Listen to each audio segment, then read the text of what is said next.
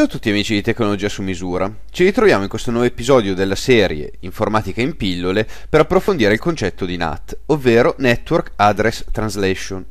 Prima di proseguire ci tengo a sottolineare che nel corso di questa puntata si farà riferimento a contenuti presenti nel video Come funziona Internet, pubblicato precedentemente a questo. Per cominciare a introdurre il concetto di NAT è importante ricordare i limiti del protocollo di rete IPv4. Infatti questo protocollo non permette di identificare un numero superiore ai 4 miliardi di host, molto pochi se ogni persona dovesse connettere pubblicamente ogni dispositivo di cui è in possesso. Ma allora come fa a funzionare Internet basandosi su un protocollo IPv4?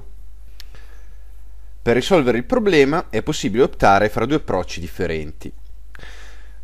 Sostanzialmente o si sceglie di implementare un protocollo IP più evoluto come IPv6 oppure si sceglie di rattoppare il problema introducendo il NAT. Per motivi economici si è scelto di adottare il NAT, per il semplice motivo che per i colossi in possesso di molti IP pubblici non è conveniente aggiornare a IPv6 i loro servizi e le loro piattaforme. Comunque, sinteticamente, il NAT permette di diminuire radicalmente il numero di IP pubblici necessari per far connettere in rete tutti i dispositivi esistenti.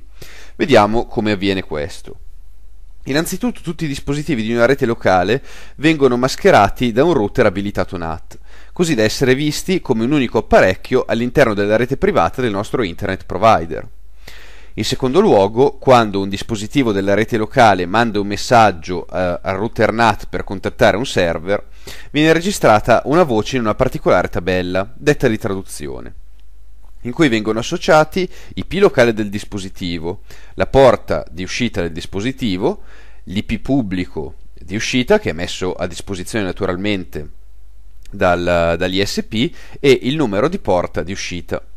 Quindi quando il server verrà contattato dal nostro messaggio, in realtà vedrà unicamente l'IP pubblico eh, di uscita dal, dal router NAT e poi associato naturalmente alla porta relativa.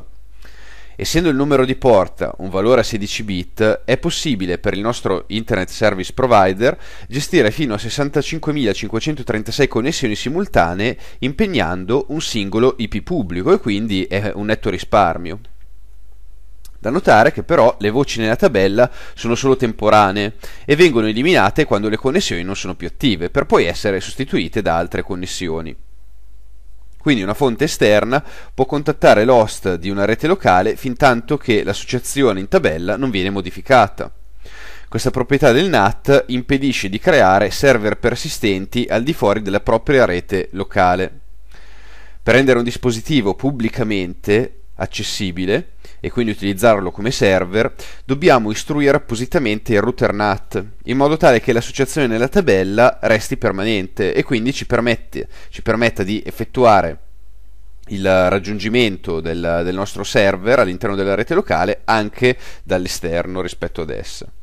In questo modo si sarà in grado quindi di impostare una grande moltitudine di servizi remoti, ad esempio telecamere di videosorveglianza, possiamo, potremmo creare una cloud privata, oppure servizi di domotica sempre remota per controllare a distanza le funzioni della nostra casa. Eventualmente, dopo aver fatto tutto questo, potremo anche abbinare l'IP e la porta in uscita a un nome mnemonico tramite un sito di Dynamic DNS, come ad esempio offre eh, noip.com.